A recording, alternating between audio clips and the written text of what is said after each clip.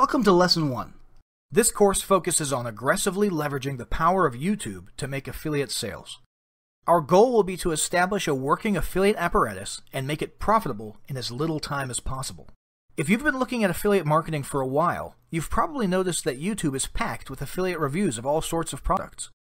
Some of them are webcam talking head videos, some are selfie videos shot with a phone while taking a walk, some are impressive semi-professional videos with people behind a counter or sitting on a couch with a physical product in front of them on a coffee table. And some are basic screencast videos. And then there are even the super cheap ones that consist of only photos and text or slideshows. All of them have the same basic conclusion. Click the link below to learn more, or something along those lines. Of course, that link is an affiliate link, and every time someone clicks it and eventually buys a product, even if it's a few days later thanks to cookies. The person who made that video gets paid a commission, and that's where you want to be. So why video? There's a few reasons. First, videos are more readily consumed these days than textual content. People would much rather get the info they need quickly by listening and watching than having to read. Plus, video is easier for you. Review websites and blogs simply take too much time and effort. You've got to continuously create and add textual content, proofread it, and SEO optimize all of it. And good luck getting it ranked on today's search engines. In today's world, if you're not on page 1 or maybe page 2 of Google, you're not going to get seen. For video sites, on the other hand, like YouTube, Vimeo, and Dailymotion, you don't need to appear on the front page. You'll be seen in the related videos sidebar of other similar videos. This is why it's so easy for even newbies to start seeing progress on YouTube because everyone is constantly going from one video to the next and clicking on related video results. Now, there are a handful of major video sites out there, but we're focusing on YouTube for the following reasons. YouTube has over a billion users, more than a third of the world's internet users. More importantly, those figures are not remaining static. Watch time increases by 50% every year, and the number of people using the site increases by 40% every year. Clearly, if you want to be seen, YouTube is the place to be. Now that we understand why we're using video marketing, let's have a look at what we'll be learning in the course. Lesson 1 covers affiliate networks or marketplaces. We'll be talking about how to choose and get set up with the affiliate marketplace that's right for you. Lesson 2 is all about choosing a product. We'll identify ways to determine which products will work best for you. Lesson 3 is going to talk about the traffic method, namely the YouTube videos and how to use them effectively. Lesson 4 is where we'll establish your battle plan and figure out how to implement what you've learned. So if you're ready, let's dive into Lesson 1 Choosing an Affiliate Marketplace. There's two key questions to ask before you choose an affiliate network or marketplace. What's your niche? Are you targeting would be internet marketers? Survival enthusiasts? Golfers? People trying to lose weight? The next question is whether you're trying to sell physical products or information products, also called digital products. For some niches, like survival enthusiasts, you could do both. For example, an info product might be a video course or ebook on small game hunting, while a physical product might be a fire starter kit or survival rations. On the other hand, some niches will primarily be one or the other. For example, the internet marketing niche will primarily just be info products, while the pet reptile niche will mostly be physical supplies. If you're in a niche where you can do both, pick the one you want to start with first and just focus on that. If you're selling physical products, you'll be looking for online physical product stores with affiliate programs. You'll want to pick the ones with the best combination of high commission rate and popularity. For example, you might come across an online store offering a whopping 30% commission rate, but they might be lesser known and therefore you might be less likely to make sales. On the other hand, a big store like Amazon, for example, might offer a low commission rate like 5 to 10%, but due to its popularity, you're more likely to make sales. For information products, you'll want to join one of the major digital marketplaces like ClickBank. Really, all you're looking at here is ease of use and selection. Ease of use has to do with how easy it is to set up an account and start promoting products.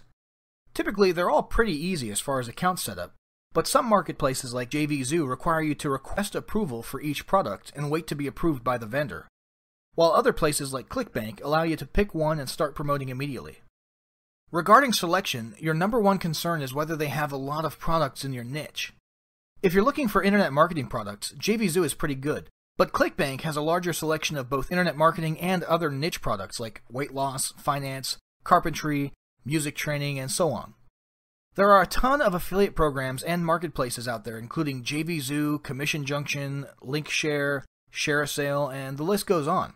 Not to mention, you can also take any e-store or product online, Google their name along with the word affiliate program, and you'll be surprised to see how many of them have their own in-house affiliate program.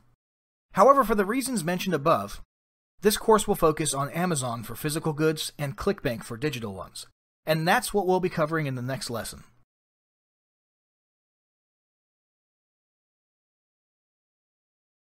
Welcome to Lesson 2, where we'll be discussing how to choose a product to promote. So we're going to be looking at both ClickBank and Amazon in this lesson. We'll start by going to clickbank.com and clicking on Create Account. Now we're not going to go through the whole account creation process as it's all pretty self-explanatory, but just note that you'll want to put an address here where you want them to send your affiliate commission checks. Now, once you've created that account, you'll want to click on Affiliate Marketplace. From here, you'll be able to drill down and select the product that you want to promote. Since this is an info product marketplace, we'll say we're looking for internet marketing products to promote. So go down to the Categories sidebar menu and click the arrow next to e-business, and then select SEM and SEO from the dropdown. In the results, you'll see hundreds of products to choose from. We'll want to pick the one that we think will be most profitable, with the one caveat being this. Make sure you investigate it a little afterwards to make sure it's not garbage. You want to be able to sleep with a sound conscience at night, and to do that, you'll want to make sure you're not promoting a ripoff. For the sake of this example, we'll assume all these products are legit. Now, there are several ways to filter these products. For our purposes, we want to focus on three main things popularity, gravity, and earnings. Gravity is ClickBank's in house measure of how well a product sells. It's based on a lot of things, including number of sales and how recent those sales are. Generally, anything above 30 is likely to have a solid probability of success, while anything that's up there in the hundreds might have such a high rate of sales as to indicate a ton of competition. But this isn't necessarily a bad thing. The amount of money you can expect to make per sale can be presented in terms of initial sale commission, and in the average rebill amount in the case of subscription products, or products that offered something like a $1 trial period and then a full payment, which is considered a single rebill. You'll want to look for a balance of both of these things, but the third, popularity, can be somewhat important too. Although gravity is usually a good measure of how well something sells, what about products that just started selling recently? Oftentimes, a hot product might launch but hasn't been around quite long enough to earn a gravity higher than 30, for example. This is where popularity might be a good thing to look at, because a popular trending product that just hit the market might not be visible if you sort just by gravity. Let's go ahead and filter by popularity first. As you can see, we've got Social Monkee at the top in popularity, but it has a really low gravity. This could be an indicator that it's either new or on a recent upward trend in sales, but hasn't quite garnered enough sales yet to increase its gravity. Longtail Pro, on the other hand, is in second place, but has a high gravity. Now let's filter by gravity. You'll notice things are reversed here. Longtail Pro is at the top of the charts, clearly establishing itself as a proven successful seller. Let's have a look at the money side of things. Longtail Pro only has an initial sale value of about a dollar or so. This is where newbies who haven't sat through our course would skip that product because of the low dollar amount. You, on the other hand, did pick up our course, and it's about to pay off. Pan over to the right and look at the average rebill total. Yep, over $100. If you were to click on the Longtail Pro title there, you'd be taken to their sales page where you'd discover that they're offering a $1 10 day trial, hence the tiny initial sale value. But after those 10 days are up, customers get billed at either about $40 per month or about 300 annually. Now you know where that rebill value comes from. And since those $1 trials are proven to work so darn well, the majority of customers stay the duration of the trial and then end up sticking with the product for at least one or two billing cycles, if not more. No wonder it has such a high gravity rating. There's no question that a product like this would be a good product to promote. Now, to promote a product, simply click the Promote button, enter your account nickname, and copy and paste the resulting affiliate link into a notepad file. Save that for later. Now let's move over to the Amazon side of the house for physical products. Head to Amazon.com and scroll all the way down to the bottom of the homepage. Find the link that says Become an Affiliate and click it. This will take you to the Amazon Associates homepage. Click Join for free to set up an affiliate account. The process will be more or less the same as ClickBank. Once you've created your account, come on back to the homepage.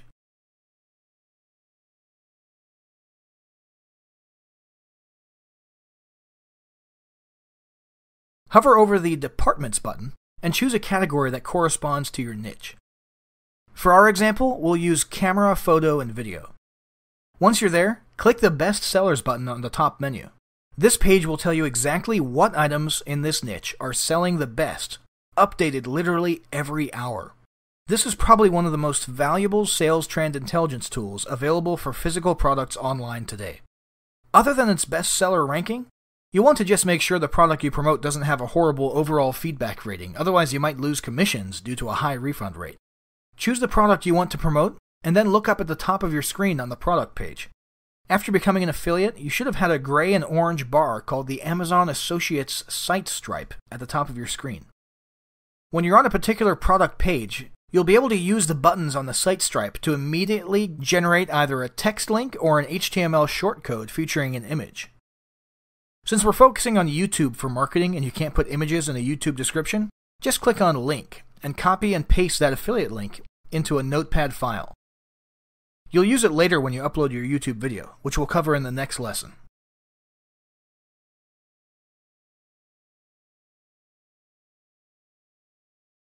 Welcome to Lesson 3. It's time to drive some traffic to your affiliate link. Now, there are a lot of ways to do video on YouTube. If you just type any random product you can think of into the YouTube search bar along with the word review, you'll see a ton of variety.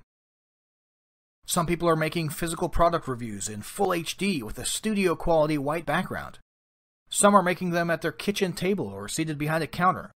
Some are sitting on an immaculately clean sofa in a well lit living room with a product on a coffee table. Some of these people aren't showcasing a physical product, but rather are just talking about a digital product or service. Some have lapel mics and great audio, and some sound terrible. Some are real people, and some are hired actors reading a script on the cheap from places like Fiverr or Upwork. Either way, these are all called talking head videos because they literally have the speaker on screen. On the flip side, you have screencast videos or slideshow style videos, which are basically recordings of someone's screen or a recording of a slideshow or text and image presentation with a narration.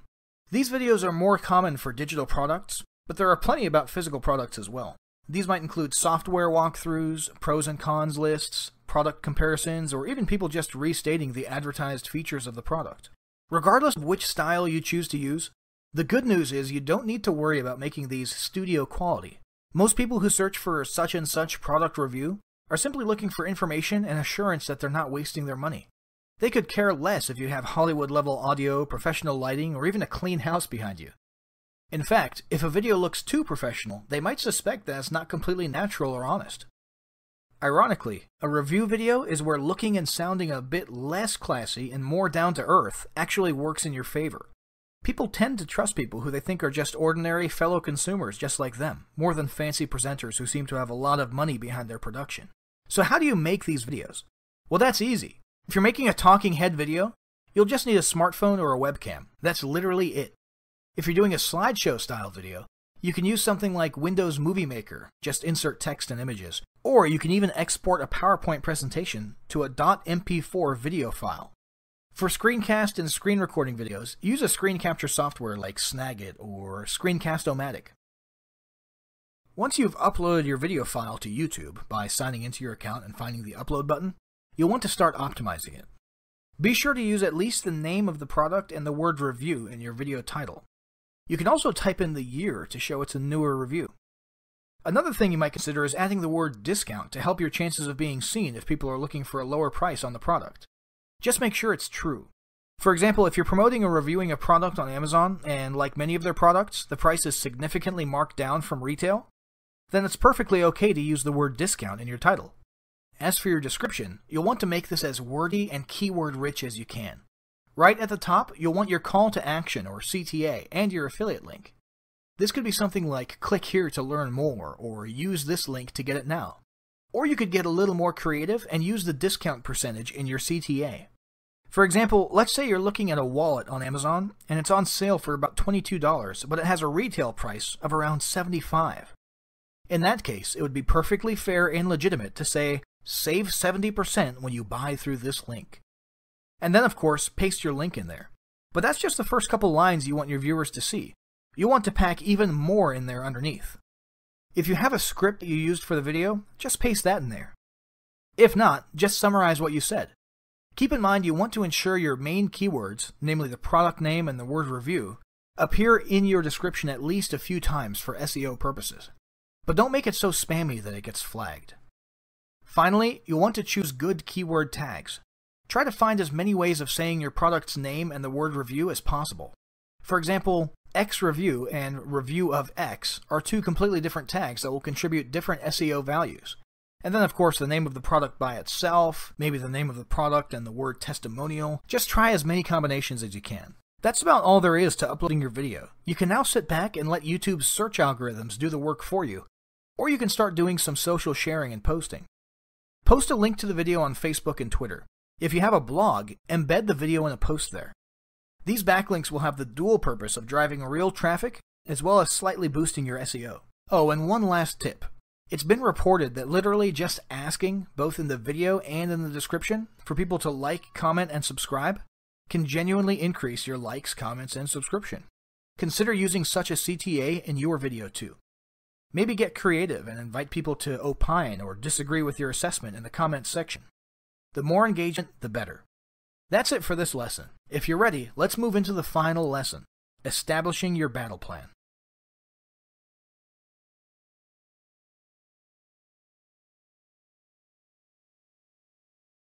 Welcome to Lesson 4, where we'll be crafting your battle plan for how to apply what you've just learned. The number one reason most people never succeed in online marketing is inaction.